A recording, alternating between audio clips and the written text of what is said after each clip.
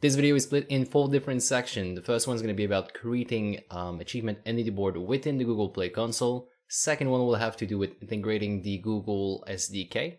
The third one will have to do with signing in the Google SDK. And the fourth one will be to report progress and also report uh, your score to a leaderboard and also to achievements. This video is some sort of recap where I will be talking over all the issue I ran into, so you might help have some problem here and there.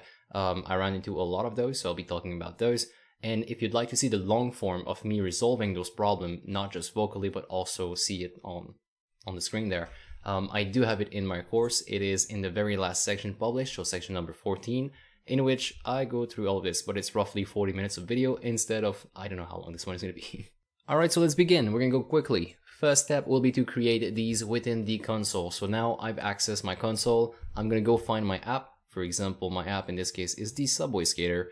I'm gonna go under here in the play game services. That's all we need to look for on the left hand side. Make sure we set this up.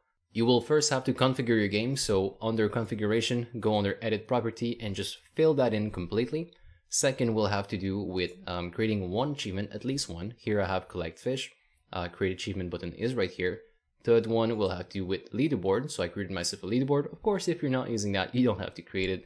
And um, and then finally, there is one last step that has to do with credential, and that's the hardest one and the most, the one you might run into more troubles with, basically. Uh, here in the credential section, you're gonna find the add credential button. This is gonna take you to your Google console. Thing you might run into in here is they're gonna ask you if you have any sensitive scope. In our case, we don't. Um, we're just looking at, at the email. Uh, we don't have any anything sensitive such as writing to your uh, YouTube or writing to your Google Calendar. We don't have anything like that. So you won't have any problem with the OAuth token. Um, it will all be generated for you and you'll find it here uh, once you're done.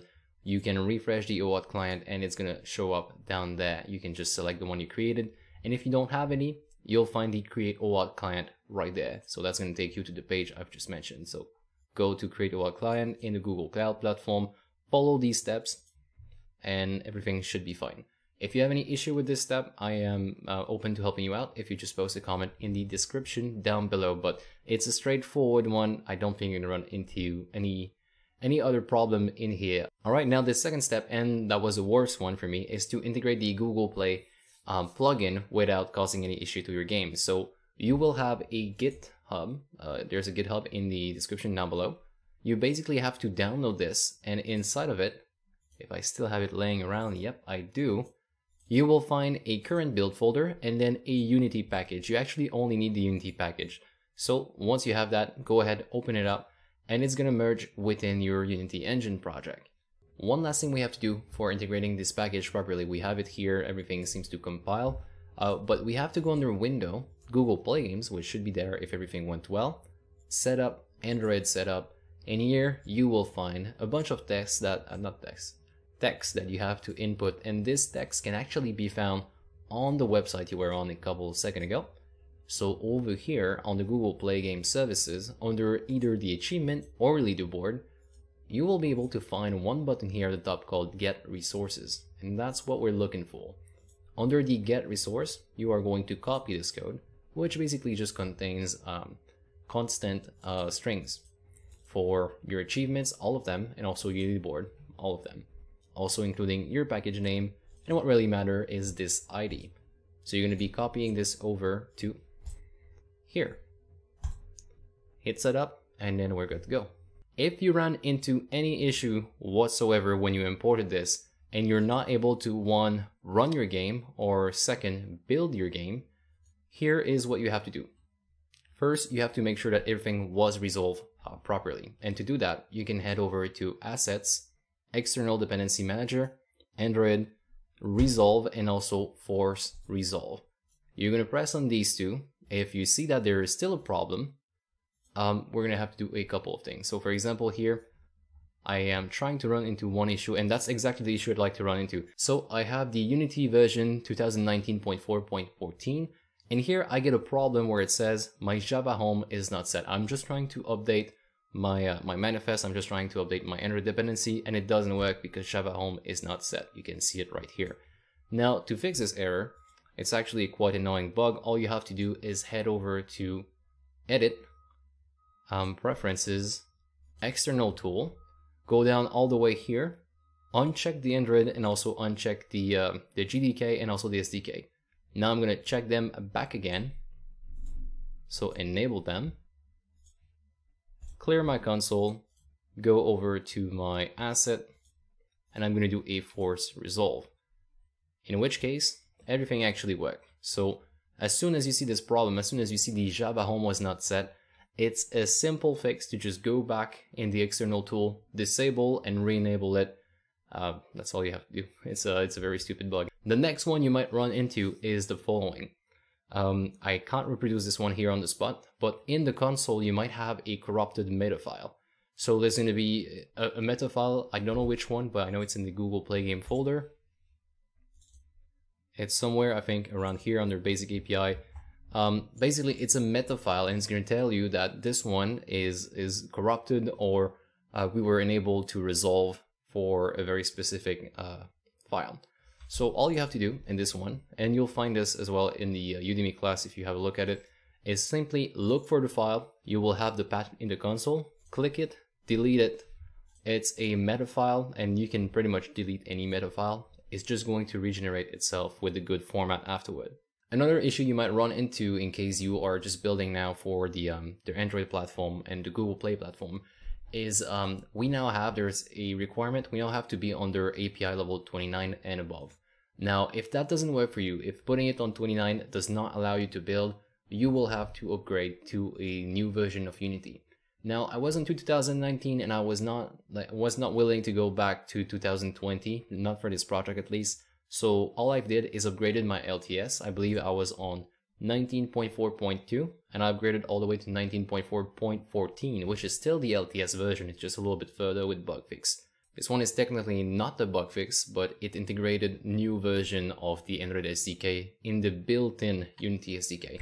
Um, so that works from that point on. Other than that, I did not run into any other issues when it came down to my build.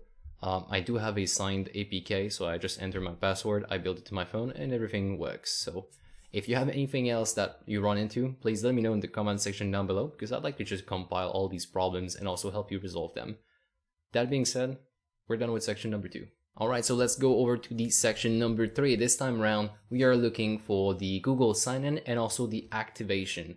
So it's going to be the first time that we integrate the code that we um, that we've gotten from the Google Play Games um, plugin and also the social platform. It's going to be the first time that we integrate this code within our code. Now let's have a look at what we have to do first. Um, if the plugin installation was done properly, you will now have access to the Play Games platform class, in which you have to call the activate in an awake statement or a start statement. The only thing that really matters here is, is that it's done before we sign in. So in awake, you just call playgameplatform.activate. Awesome. And then a little bit further down the line, so that's my awake statement, start statement, there is the sign in to Google Play services in which all I do is call the authenticate and then I send in a certain parameter. So I want this to only be prompt once. So you could read the full text here, but what it says is that it's only prompting once. And if the person declines, we're not going to ask him again. However, in my game, a little bit further down the line, I offer a manual option to sign in if, if required. And then after that, you parse the result, in which case, is it successful or is it any of the other reason? And God knows there is a bunch of other reason. Already in progress, cancel, error, fail, blah, blah, blah.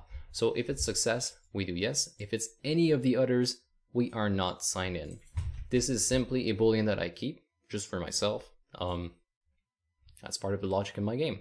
So now it's very simple code, I know, but we ran into a bunch of problems when it came down to actually not a bunch, just one, but that one problem is really annoying to solve. So let me explain to you what is happening. In my Google Play settings over here, on the enable anti-piracy, even though that's on off, I cannot use build that I've made on Unity and, and build directly to my phone. I cannot use that to actually test any of this code. I have to absolutely make a build out of whatever I'm doing. Um, that's gonna hash it up into one single file, so a bundle. Then the hash of that bundle has to be exactly the same as one of the build I have uploaded on the platform. So this flow goes like this. I make some modification in the game, I build, I when I build, I upgrade my bundle version, my code version. I make sure to update that, and then I have to go here, either send a new production release, which is gonna push it to all my user, and that's not really wanted for two reasons. One, your user all across the world will receive a update notification, so you they'll be able to update to the new app that you've made just for testing. So you might have some bugs in there that's annoying. And second, because it also has a review period. So Google has to review the application. It has to go through the machine. Is it safe? Is it not? Um, so there, that's two reasons why you don't want to create a new APK under the production. So what I had to do instead is go under the testing. I created myself a internal testing, and here you can see I have a release history of a couple of things that I've made while I was testing out. Go under tester, added myself as a tester of my own game. So here you can see. And that's pretty much it. So once i had this i sent myself the link. So you have a link over here. I sent myself that through messenger so i can open it on my phone. Under release i created a new release uploaded my bundle here just put anything in there. I mean that's for internal testing so if you'd like to put some notes you can. But then at one point the only thing that matters is that you have a release. And i'm currently using the untitled release oh never mind discard. Yeah this last release here is where I did my final test where everything worked. Um, and to get this release, I had to uninstall my previous game that I've built through Unity, install it through the, the store this time. So I went on my phone, clicked the link, installed it through the store, and then I saw myself signing in. So to give you a quick example, I'm gonna sign in and here I can see here at the beginning, I'm capturing my phone by the way, it's uh, I have to click on capture, but as you can see here at the top, hey there, and then that's my Google Play Services name. Um, everything is working, and I was able to sign in. Now, I'm also going to show you while I'm here. Here is the, the achievement, there's only one.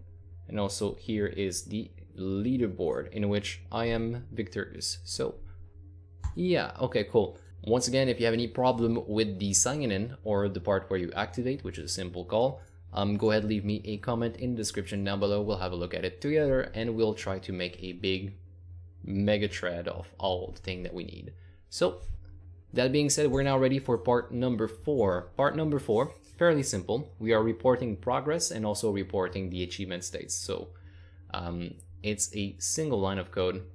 It's awesome. It's very easy. And I believe that I put it under the game state def. Yeah so here it is. Prior to saving set the score if needed. So here in my code, I look if my high score is bigger than it was. If it was, then I save it as my high score. But at the same time, if I reach a point where I am in a high score state, then I go ahead and I look, am I connected to the Google Play services? That's my Boolean. Remember earlier I had a Boolean? Yep, this one. Um, this is my Boolean that I've got from the sign in. So if that one is true, then I call social report score my high score, that's an actual number here, a int, and then my ID top score, and I send it over if it's successful. So that's all you have to do for the leaderboard. Now over to game stats. It's the same exact thing. So every time that there is a new fish, um, I call one action called on new fish, and I look, is my fish count equal to 10? If it is, I do social report progress, the ID of my achievement, and then how much progress I've made towards this achievement. So it goes in between 0 and 1, uh, sorry, 0 and 100. If I report 75 this time and 25 on a second attempt, then it's going to be 100. Um, so if you want to fail the achievement in one go, you just do 100. The null here is simply a callback, just like we had earlier. It, um, in case something goes wrong, then I just say debug.log error, but it's a callback basically that you can put in there if something works or if it doesn't. Now there is a neat little pop-up that you're gonna receive once you do that. So once you do an achievement, um, you'll receive a small pop-up here at the top of your game and it's gonna say, hey, you've unlocked this achievement, here's how many experience you've got. Once again, if you receive any problem with this, uh, just make sure you let me know in the comment section down below. And that pretty much wraps up this speed integration of the Google Play game services. Um, I tried to do the, the video in a different manner this time for the sole purpose that I made four different videos and they were way too long for the channel and those are all on Udemy so if you'd like to check them out uh, that's basically me going through the same flow but with visual, with more visual, and also uh, a lot of troubleshooting. So that was really annoying. Um, but it, it's gonna help you out figure those problem if you do have. So it's in the course. There is going to be a link in the description down below if you'd like to get that. Always appreciate when people do sign up for the course because it gives me a small monetary uh, compensation for making this course and also it helps me just put more time towards the YouTube channel and the Udemy instead of my freelancing job. So that being said, I'd like to thank everybody who has been watching for I don't know how long, but um, I really appreciate it. And we're going to see each other on next Wednesday.